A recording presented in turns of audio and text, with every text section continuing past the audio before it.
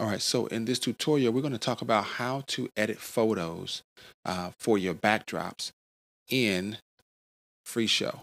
Now, these don't just have to be used for backdrops, but we're going to look at it as if the scenario is you've got this photo uh, or this image that you've captured or you you've uh, downloaded, but it's too bright for your background or it's just not working right because it's too much contrast.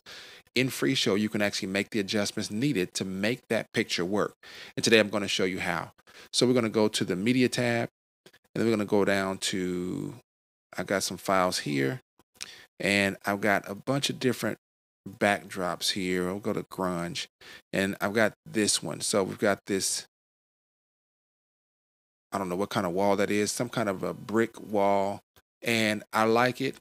I think it looks great, but it's a little too bright. And so what you can do to get it to be less bright, you can right click on the image and we're going to say edit. And we see the image here under the edit page.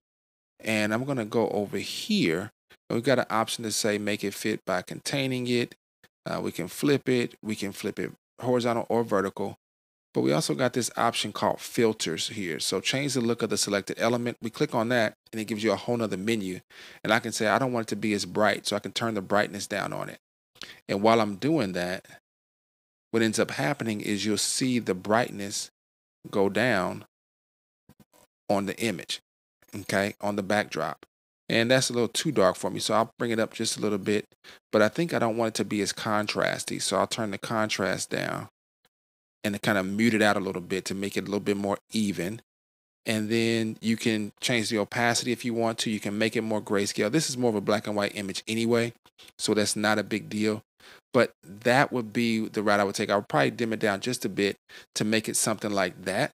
Uh, and as I'm editing and I come back out, so I can uh, go back to my show mode and I've got that image in there and it's still there for all the descriptions that I've got there. But just a quick recap. Go to your media tab and then you'll find an image you like and you right click on that image and you click on edit. And when you click on edit, what ends up happening is you've got an option to change the video or the, the photo settings. And when you change the photo settings, you go to the filters. In the filters, you'll be able to change the hue. So let's say I don't like the hue of this one. So I can actually change this to go up and it can go all the way to 100. So let's make it be 50.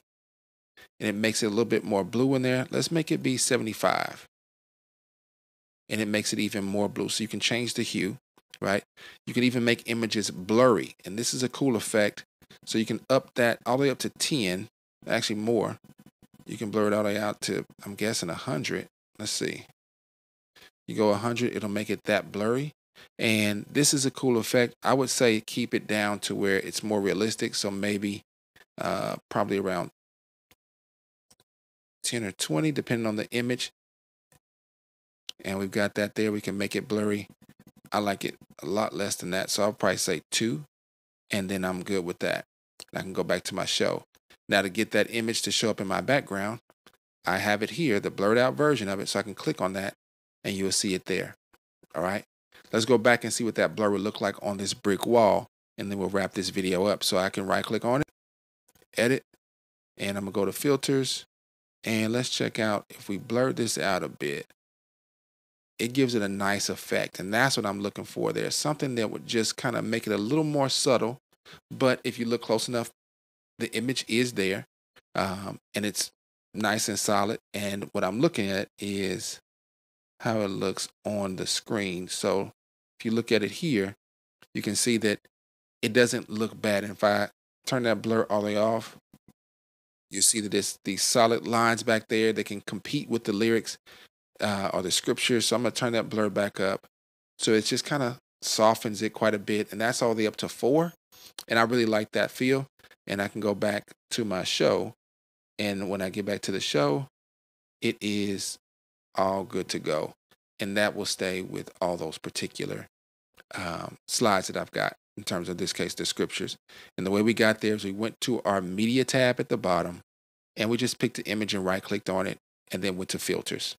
And that's how you adjust and edit your photos, your images for your back, backdrops and or slides uh, using Freeshow.